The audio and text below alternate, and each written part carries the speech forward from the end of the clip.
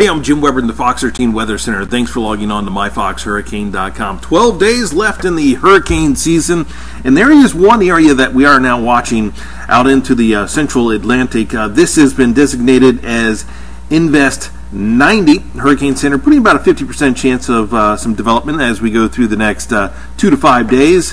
Uh, any developments can be pretty slow, could become either a tropical or subtropical system.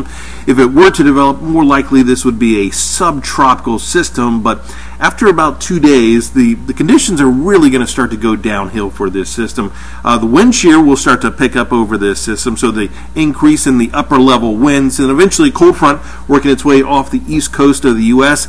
Uh, that'll be moving out into the Atlantic, and it'll basically just merge with that cold front, and that would basically be the end of its chances of actually doing anything. So you look at the GFS model, the Invest sitting basically uh, right in the middle of the screen. Watch as we go through the next couple days, uh, working its way towards the northwest.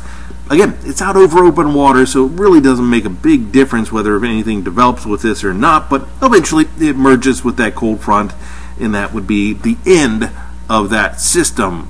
Other than that, the tropics are quiet, and we'll keep you updated right here on myfoxhurricane.com.